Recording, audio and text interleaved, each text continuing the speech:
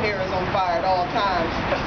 um, I, I, just want to thank everybody that has been assembled here. And what you see here is a sampling of the Rainbow Coalition of Humanity, that we are better together, we are stronger together, and voting is certainly our voice, and we should not sit idly by and let anybody take that voice away.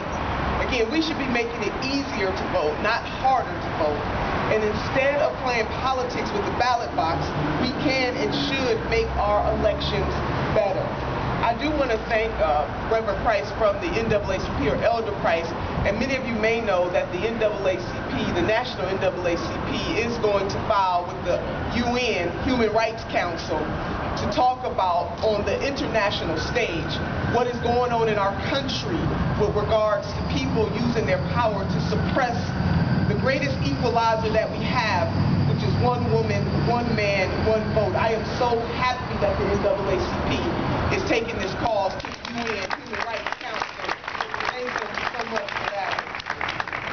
Um, you have heard today from a broad group of stakeholders about how these attempts to limit access to the ballot box and diminish the voices of Ohioans are wrong.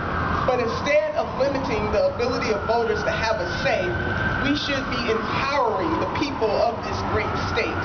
Instead of playing politics with the ballot box, we can create better avenues and opportunities for folks to vote. There's some things that we could be doing in this General Assembly that will enhance the right to vote, like online registration would make our voting environment smarter and prevent data entry errors passing those bills? Or how about redistricting solve a whole lot of challenges that we have in the state? How about that? And how about we do redistricting reform right now? Let's not wait 10 years from now. Let's do it right now. How about free registration of 16 and 17 year olds and engage young people in the election process young so that when they start, the younger that they start to be engaged, studies show the more likely they are to stay engaged. How about let's pass that bill?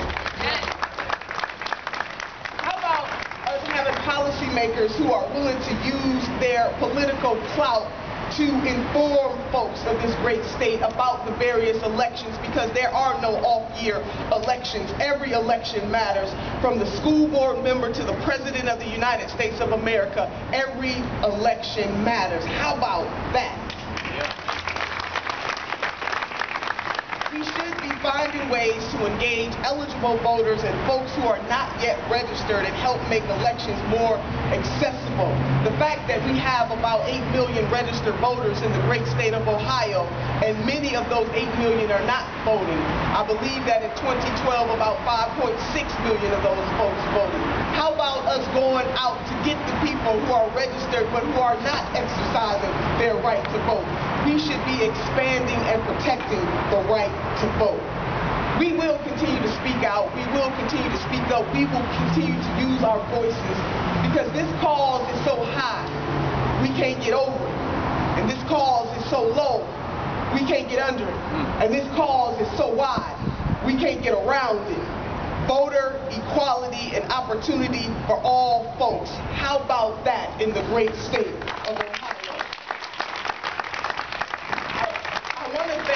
Ohio Legislative Black Caucus, many of you may know that the Attorney General gave the Black Caucus the go-ahead with the language for the Voter Bill of Rights. That will be before the ballot board this Thursday. So I encourage those of you who can come. I believe that starts at 9 o'clock in the morning on Thursday.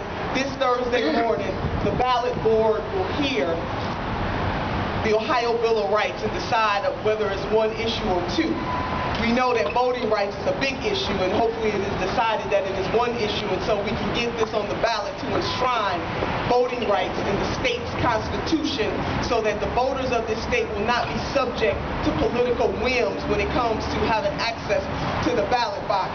Finally, I want to close with a quote from Sister Helen Keller, and she once said that one must never consent to creep when one feels the urge to soar. And I hope everybody out here today who has testified today on Testimony Tuesday, and all of you who have joined us for the right reasons, that you feel the urge to soar.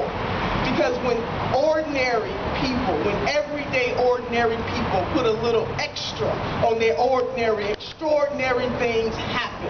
And we will continue to work to make sure that all folks in this great state, young and old, black, white, Hispanic, Asian, male and female, have unfettered access to the ballot box.